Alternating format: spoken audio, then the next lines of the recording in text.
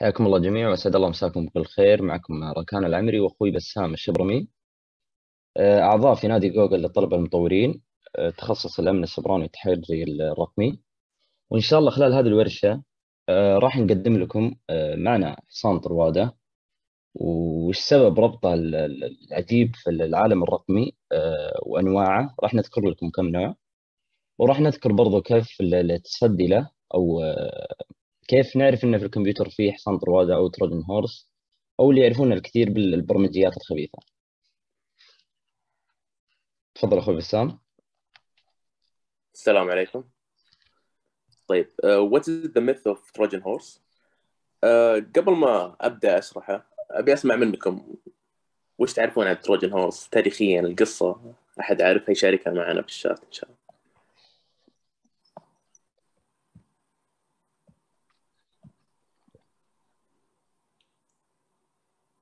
طبعا هو برمجيات خبيثه يعني يعتبر من أنواع البرمجيات الخبيثه فاللي عنده فكرة عنها يكتبها.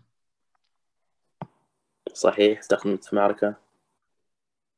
صحيح. بالضبط سلطان بعد. أيوه بالضبط. إنه مستخدم الحصان. صحيح. صحيح بشرة طيب. صحيح باسم. القصة باختصار أن كان في حرب بين الجيش الإغريقي وجيش مدينة طروادة فاستمر الحصار لمدة عشر سنوات. الجيش الإغريقي يحاول يغزي مدينة طروادة لكن كل المحاولات فشلت.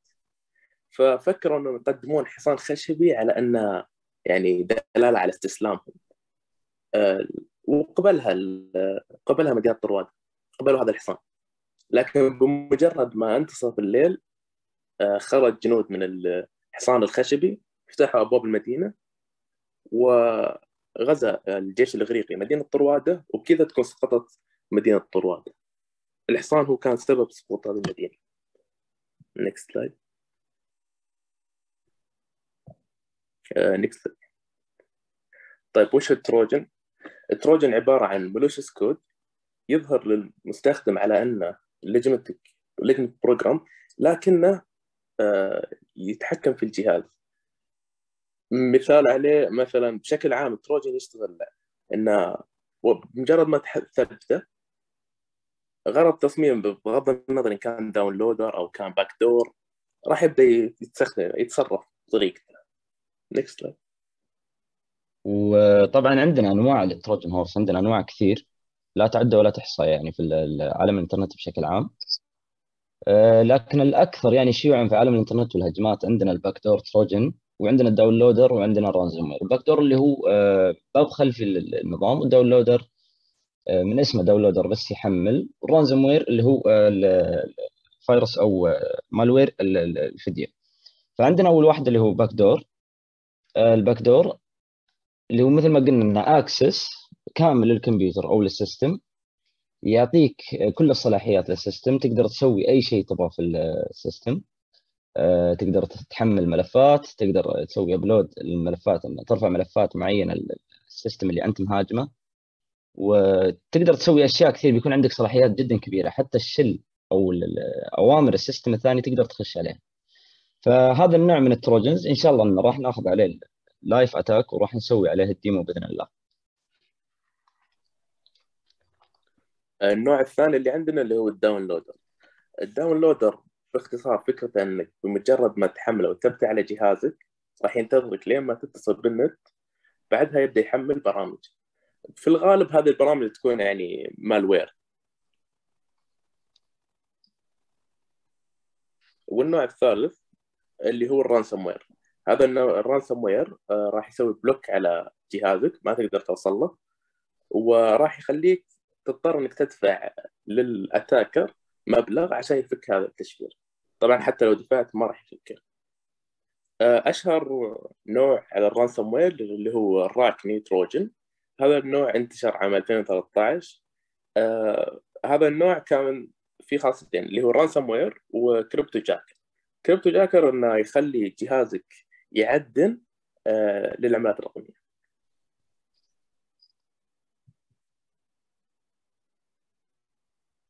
طيب آه، كيف تدرك إن جهازك مصاب بالتروجن؟ آه، أول سبب عندنا اللي هو إذا كان عندك بطء بالتشغيل طبعا مو سبب رئيسي لأن احتمال تكون عندك برامج كثير تشتغل بدء التشغيل. فهذا السبب الأول. السبب الثاني اللي هو ال slow web browsing إنك بطء في التصفح. إذا شفت برامج آه، أنت ما ثبتها على جهازك احتمال يكون هذا Trojan. أيضا آه، بالتصفح يمكن تلقى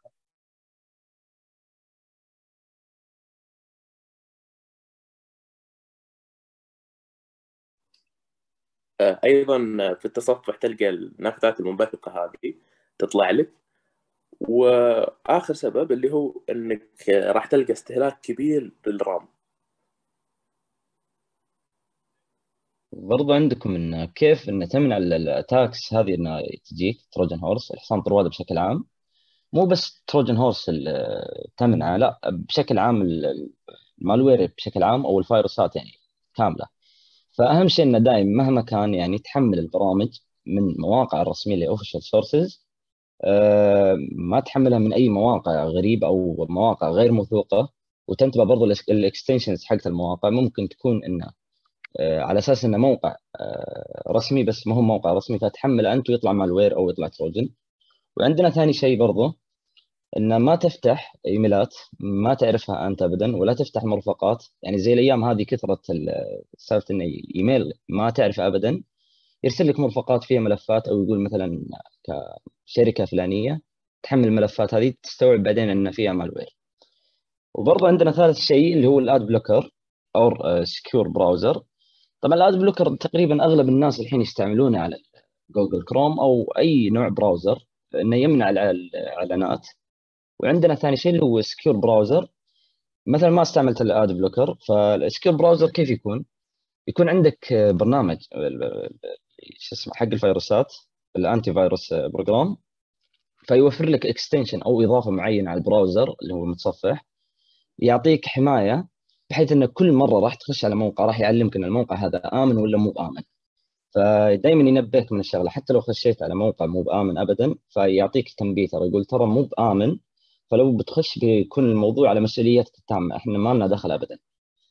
وعندنا برضو ال back up your files انه دايم آه، كل فترة بشكل دوري آه، تسوي backup نسخة احتياطية لملفاتك.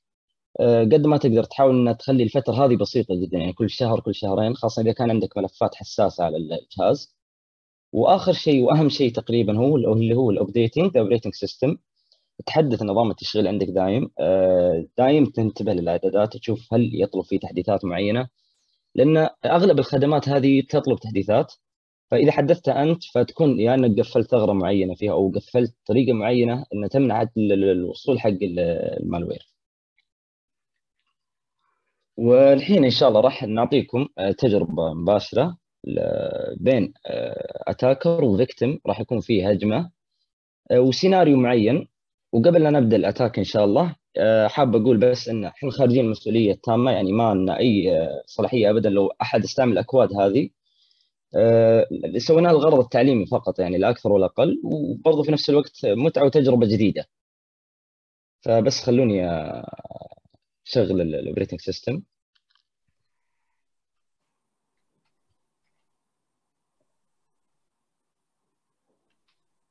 وبرضه بغير النت بس عشان يكون عندي الاتصال كويس.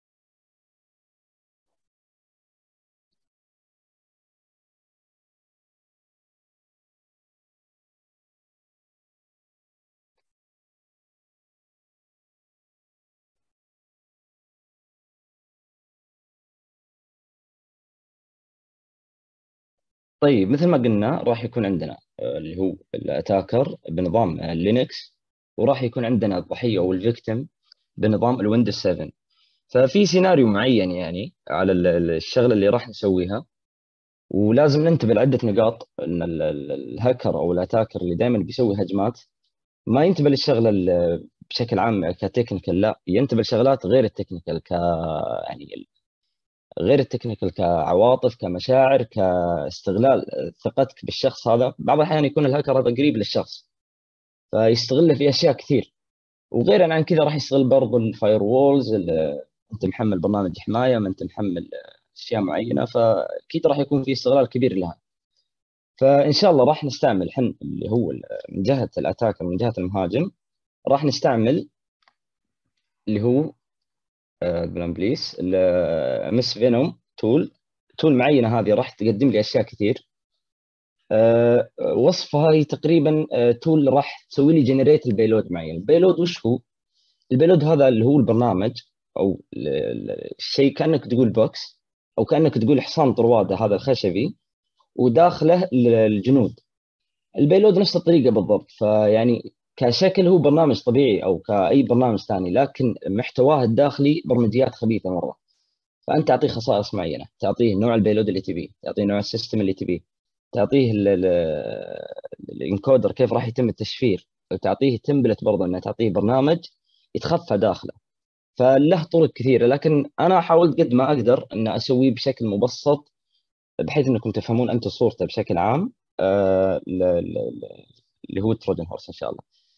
فخلونا نكتب مثلا اسم بينهم. ليست بيلود. الحين راح تطلع لي اللي هو قائمة البيلودز اللي أقدر أختارها. آه عندي أنواع كثيرة تقريبا 592 بيلود إذا ما خاب ظني. تقدر تختار أي نوع تبغاه من حيث إن إيش؟ وش الضحية اللي راح أنت تستهدفها؟ هل هو ويندوز هل هو لينكس أو اندرويد أو يعني في أنظمة كثيرة جدا. وش السيرفيس اللي راح تستهدفه أنت؟ يعني بالضبط. عندنا ال HTTP عندنا ال TCP عندنا بورتات كثيرة تقدر أنت تستهدف البيلود عن طريقها. ف فاحنا إن شاء الله راح نختار اللي هو الويندوز متر بريتر ريفيرس تي سي بي بعلمكم ليش اخترت أنا هذا الشيء بالذات. اللي هو هذا هو. طيب الريفيرس تي سي بي وش معنى الكلام هذا؟ إنه بعطي أنا الضحيه البرنامج. مجرد إنه ما راح يضغط على البرنامج راح يسوي لي كونكشن باك راح هو اللي يشبك عليه مو أنا اللي اشبك عليه. ومعروف أصلا تروجن هورس إنه بيئة انه اكسكيوتبل إنه يعني يشتغل من جهة الضحية. يعني اللي على الأتاكر بس إنه يعطي الضحية البرنامج هذا ينتظر متى الضحية يشغله متى ما شغله راح آه على طول راح يشبك للأتاكر اللي هو المهاجم. فإحنا مثل ما قلنا اخترنا الويندوز مثل بريتر ريفيرس تي سي بي فالحين راح نكتب إن شاء الله الكود كامل وراح أكمل لكم الباقي إن شاء الله. بس خلوني أكتب لكم الكود.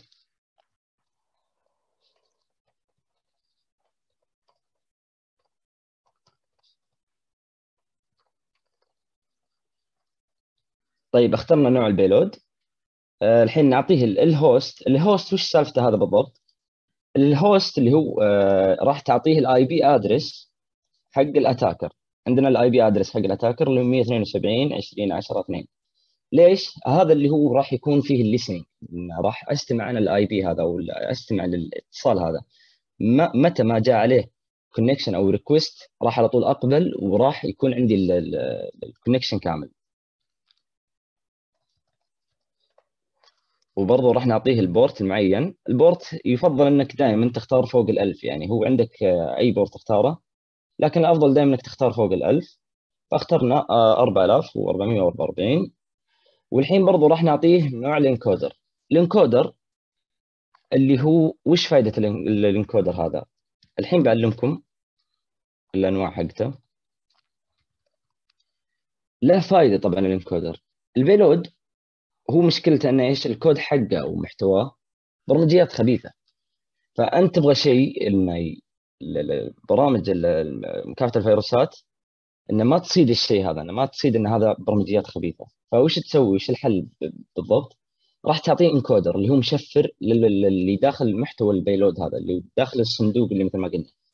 فعندنا أنواع كثيرة جدا من الانكودر عندنا تقريبا والله ما أدري كم بس إنه كثير.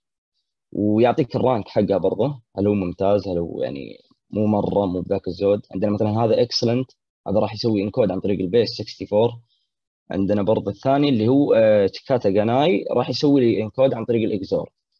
فراح نختار إحنا هذا إن شاء الله.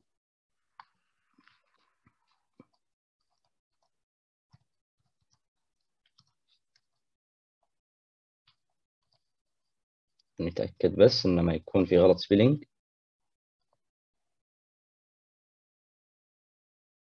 طيب أمورنا طيبة. طيب أنت الحين سويت إنكود مرة واحدة. فالأفضل إنه دائما تعطيه ايتريشن أو عدد مرات انكودينج اللي هو عن طريق الاي فمثلا راح نعطيه 15 مرة راح يسوي انكود راح يسوي تشفير للبيلود هذه 15 مرة.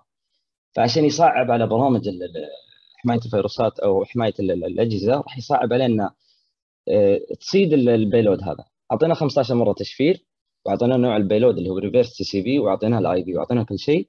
والحين وش اللي علينا راح نسويه؟ راح نعطيه فورمات معين إنه كيف راح يطلع لي التروجن هذا. فبنعطيه الاكس اي اللي هو اكسكيوتبل فايل وراح آه، السهم هذا راح نطلع الاوتبوت على صيغة ستارت بي سي نكتب الاكستنشن الحين طبعا قاعد يسوي جنريت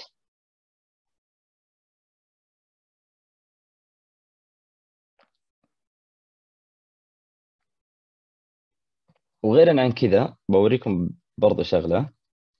في الفورمات عندي فورمات آه، كثيرة جدا. آه، عندي نوعين. عندي إذا تبغاها عن طريق كود أو تبغاها عن طريق اكسكيوتبل فراح يوفر لك يعني مدى كبير. وأتوقع الأداة هذه ما ما في أحد يستعمل الكالي لينكس إلا ويعرف الأداة هذا لأن أداة قوية جدا. مثل ما تشوفون يوفر لي آه، فورمات كثير. يعطيني برضو باللغات اللي ابيها بايثون باور شيل بالرو بالروبي وبالبيس 64 على حسب اللي يبيه وعلى حسب اللي أنا أبغاه. طيب اصبروا في مشكلة هنا بس المسافه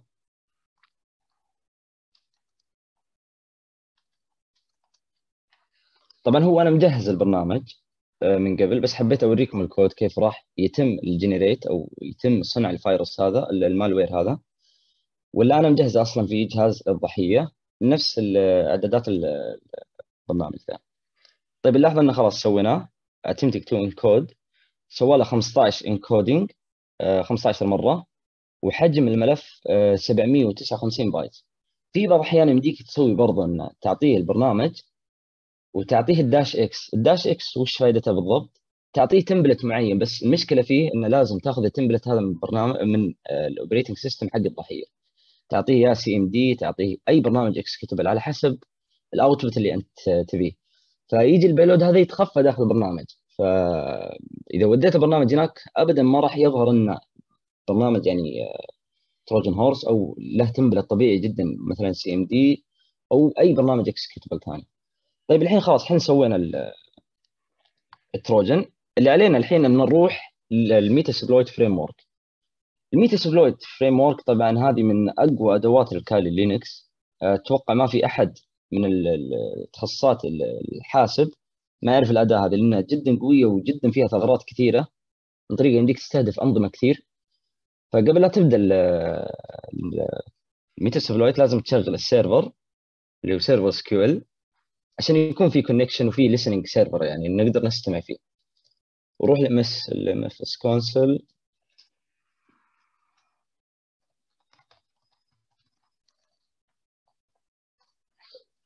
ياخذ وقت شوي.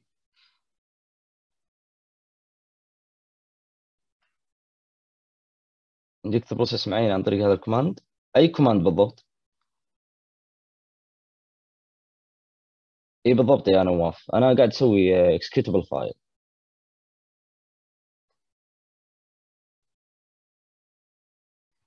بالنسبة للخطوة الثانية في بعض الأحيان تحمل حاجة معينة. لو تصدم إنه في حاجة ثانية محملة معها هل هذا الشيء يعتبر هاك أو لا. على حسب الشيء ترى اللي أنت محمله من الموقع اللي أنت محمل ممكن إذا كان موقع رسمي فما أتوقع عليك خوف يعني واجد. لكن بعض الأحيان يكون موقع مو برسمي تحمل برنامج تشغل برنامج تستوعب إنه في سي ام دي طلع لك وأختفى السي ام دي هنا في شيء في ان الموضوع. فأفضل شيء إنك دائما على طول توجه تأخذ الجهاز تحوله إلى سيف مود وراح آه، تضبط أمورك. داش إكس راح تحط فيه اسم البرنامج اللي تبي تشغل عليه. الداش إكس لازم تجيب البرنامج نفسه. يعني عندي مثلا هنا السي ام دي أنا جايب له السي ام دي لو تلاحظون التايب حقه دوس ويندوز اكسكيوتبل تعطيه الباث حق السي ام دي هذا راح يظهر لك البرنامج جديد. نفس السي ام دي بالضبط نفس خصائصه نفس كل شيء لكن اللهم إن حشوة البرنامج نفسها فيها البرمجيات الخبيثة هذه. طيب إحنا بدينا الحين الميتا سبلويت فيها تقريبا 2179 ثغرة أو اختراق. في أشياء كثير توفر لي الأداة هذه. فقبل لا نبدأ نروح للمولتي هاندلر.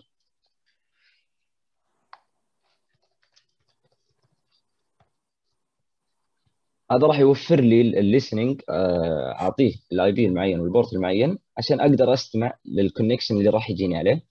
شو اوبشنز نلاحظ أن عندنا البيلود خلوني أكبر الخط شوي. عندنا البيلود اللي اخترناه الحين قبل مثل ما تذكرون اللي هو الويندوز متربريتر ريفيرس تي سي بي البيلود اللي هناك معطيني جينيريك شيل ريفيرس فلازم نغيره. فنعطيه ست بيلود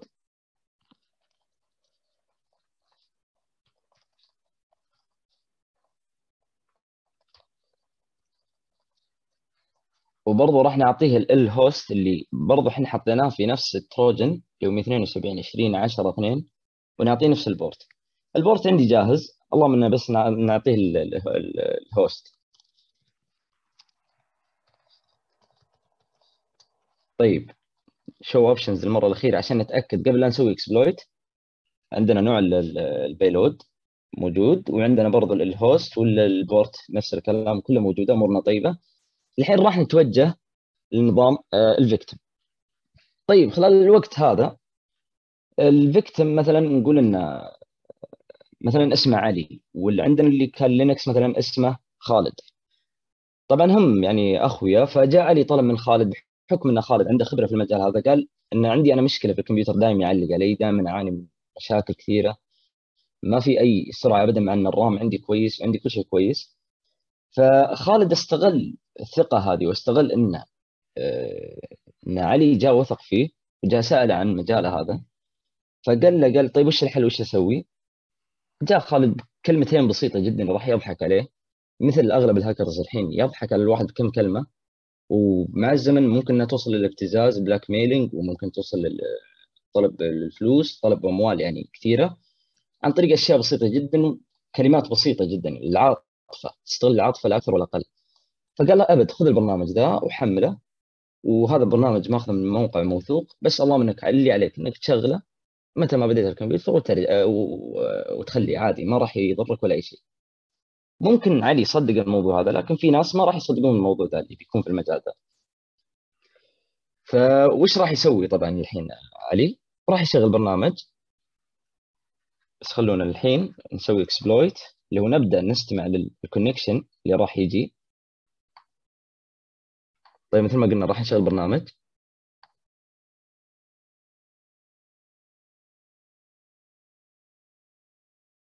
لو تلاحظون عندي تغير الكود هنا في اللينكس تغير الكلام هنا. يعني بدأ فيه الكونكشن طبعا علي في نفس الوقت قاعد يقول ما في أي شيء طلع لي ابدا. اللهم إني بس دخلت البرنامج أوكي. بس عقله الباطني بيحسب إنه ماشي اموره إنه خلاص الحين الكمبيوتر بيصير سريع. من الجهة الثانية الأتاكر خلاص. أخذ الأكسس أصلا الكامل لجهازه ف لو تلاحظون عندي الاي بي حقه وعندي البورت اللي أنا خشيت عليه بالضبط مع الوقت مع كل شيء والسيشن كامل عندي. فالحين أنا أعتبر كمتر بريتر. متر بريتر وش يوفر لك بالضبط؟ يوفر لك أوامر اللينكس داخل الويندوز فتقدر تسوي اللي تبي داخل الويندوز بأوامر اللينكس فمثلا لو كتبنا ال اس طيب. لو تلاحظون إنه وفر لي كل البرامج اللي عندنا في نظام الضحية. مثلا عندكم آه، ملف نو موجود ملف نو برضو هنا. عندكم ملف سيكرت إذا ما خاب إنه موجود. اي هذا هو. عندكم واير شارك عندكم كل شيء. فأنت ما راح تستفيد من البرامج هذه بشكل عام اللي نهايتها كذا لأن هذه يعتبر اكستنشن أو يعتبر كاختصار فقط. فأنت اللي يهمك مثلا ملفات أو يهمك أشياء كثير أو يعني تقدر ترجع حتى على ملفات السيستم نفسها وتلعب فيها تقدر تسوي امبورت للمالوير ثاني. تقدر تسوي أكثر من شغلة. فمثلا خلونا نفتح ملف سيكرت لو نلاحظ إن أنا فتحت ملف سيكرت طيب ملف سيكرت وش محتوى هو أصلا؟ نفس المحتوى اللي عندي هنا فأنا تقريبا عندي الأكسس أقدر أسوي أي شيء أبغاه. وبرضه لو نتوجه الملف اللي هو دايركتري نو توجهنا له. بنلاحظ في ملفات مثلا الصورة هذه راح أحملها. داونلود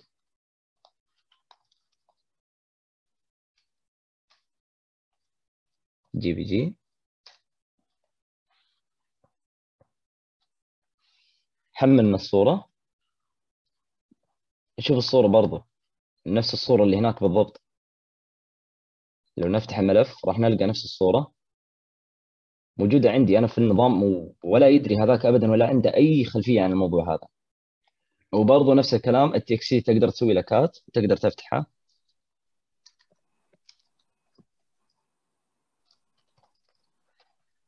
يطلع لك نفس الكلام التكستي تقدر تفتحه وتقدر تحمله وتقدر برضه تسوي ابلود لصورة معينة عندك أو برنامج.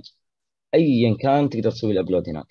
طيب الحين أنا اللي عرفته إن عندي الاكسس كامل. أقدر أسوي ابلود أقدر أسوي داونلود وش أقدر أسوي بعد؟ تقدر تخش على الشل حق الويندوز نفسه. قبل نروح هوم اي لا معليش صبر. نروح للشل لو تلاحظون إن أنا خشيت الحين على الويندوز. صاير كان الكوماند اللي في الويندوز.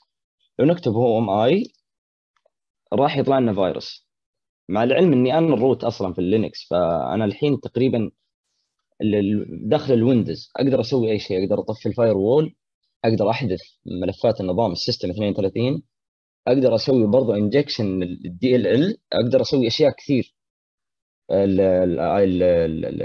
الجيت واي اي بي حقه اي بي كونفيج لا صفر. بدون مسافة. عندي الاي بي حقه. عندي كل شيء يخصه تقريبا. أه الحين مثلا طيب اللي عرفناه إن عندي الأكسس عندي كل شيء أقدر أسوي حتى الشت داون برضه أقدر أطفي كمبيوتره وأقدر برضه أفتح له ملف. يعني مثلا أفتح له ملف اخوفه أو ايا كان أو إني أعطيه رسالة مثلا ترى أقول أنا مبتزك وأنا عندي ملفات لك فيها كذا وكذا كذا. إيكو. فروم كالي ونعطيه اسم الملف. راح نلقاه في الملف اللي كنا فيه آخر شيء اللي هو النو. جاء عنده نفس الملف بالضبط فأنا أقدر أكتب له أي شيء ابغاه وأقدر برضه اطفي كمبيوتر وأقدر أسوي أي شيء أي شيء حرفيا عندي أنا الأكسس الكامل للضحية. طيب الحين أنا خلاص أنا أخذت الكونكشن أنا يا جهاز الضحية لو مثلا مثلا أنا عارف الشغلات هذه كيف أعرف انه فعلا فيه آه، في تروجن عندي؟ فالأهم إن الواحد دائما ينتبه للتاسك مانجر ينتبه للترافيك عنده النتورك ترافيك. لو نخش على التاسك مانجر راح نلقى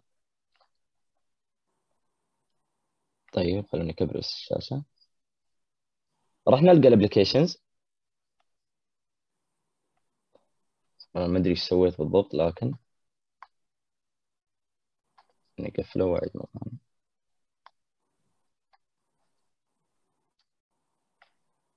والله ما أدري إيش سويت. أيوه. طيب نرجع مرة ثانية.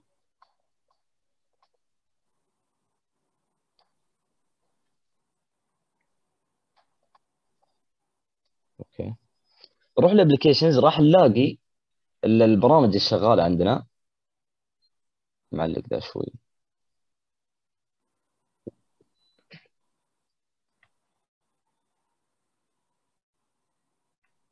طيب ال application البرامج الشغاله ما عندنا أي برنامج شغال.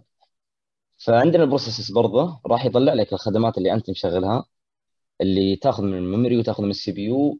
طبعا في آه، هذه من ال service حقت الكمبيوتر نفسه أو الويندوز نفسه.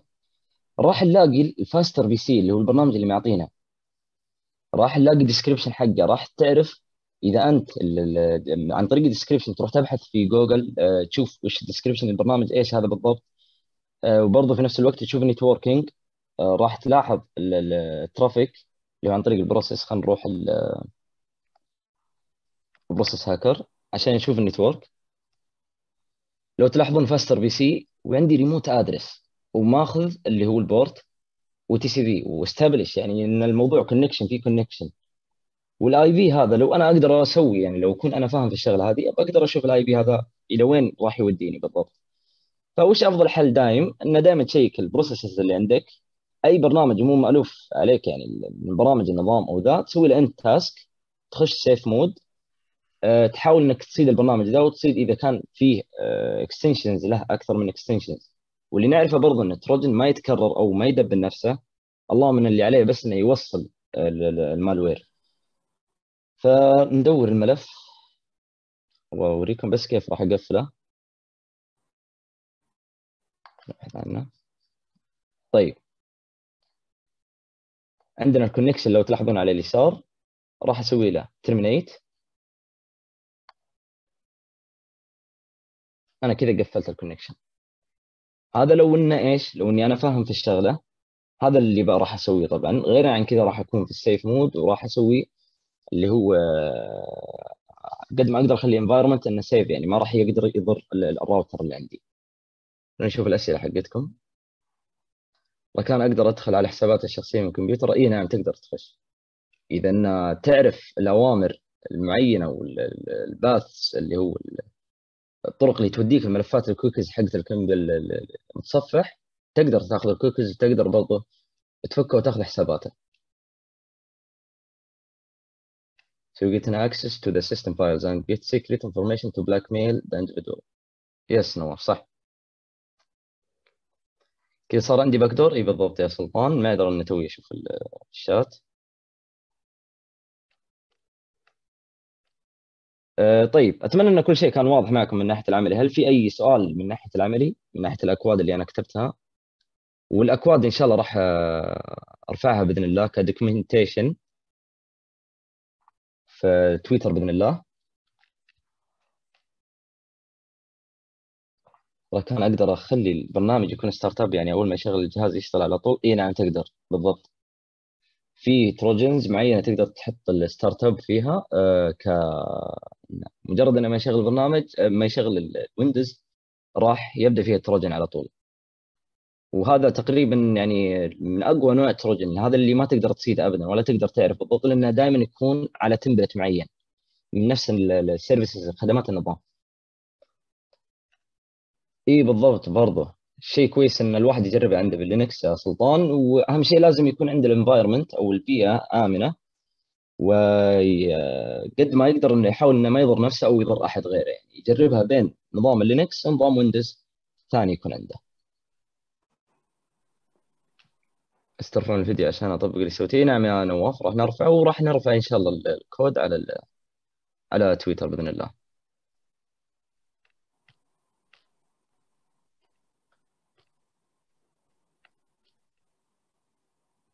الله يعافيكم. وأتمنى أن كل شيء كان واضح. واذا في أي سؤال من ناحية الجزء العملي أو النظري أبد اسألونا الحين أو اسألونا في تويتر. وهذا حساب النادي.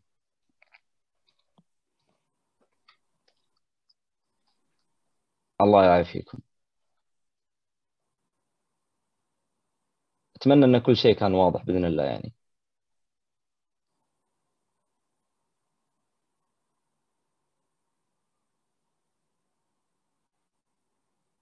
الله يعافيكم ويعطيكم العافية على الاستماع. وإن شاء الله إن كنا خفيفين عليكم وأفدناكم. قد ما نقدر مع إن الموضوع كبير جدا وترى متشعب بشكل كبير لكن حاولنا ناخذ شيء بسيط. نشرح لكم بس الفائدة. نشرح لكم كيف إن موضوع من البساطة هذه حتى البساطة فيه خطير يعني. مو بشيء سهل ابدا. ولا يستهين فيه ابدا. ف عندكم رابط التحضير والتقييم. الله يعافيكم إيه بالضبط يعني لازم يكون عندك أكثر من فيرتشوال ماشين صحيح. كيف ممكن أستدير بهالمجال طيب أه صراحة المجال هذا يكون أكثر يعني أه تجربة مو تجربة خبرة شخصية إن الواحد لازم هو اللي بنفسه يروح يدور. لازم يشوف في اليوتيوب في في resources كثيرة في اليوتيوب في أتوقع واحد اسمه أه والله إني ما أدري نسيت اسمه بالضبط. NetworkChuck اي NetworkChuck resource هذا مرة كويس يعلمك على أشياء كثير من ناحية الاختراقات. أه يفتح عقلك أكثر يخليك فاهم في الاختراقات أكثر إنه مو مو أي شيء انك تخترق الجهاز وبس لا. راح يكون في عواقب كثيرة. لازم أنت تنتبه للعواقب هذه. الله يجزاك آه، أيضا بالنسبة للميتسبلويت في كتاب كامل يشرحه بالكامل. راح نشاركه معاكم اليوم إن شاء الله. بإذن الله.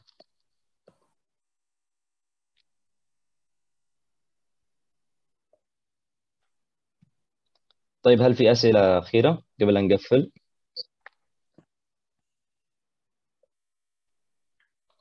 الله يعافيكم وشكرا لكم على الاستماع. وإن شاء الله أن أفدناكم. وكنا خفيفين عليكم إن شاء الله. ويعطيكم العافية. وأهم شيء لا تنسون الحضور رابط الحضور في الشات.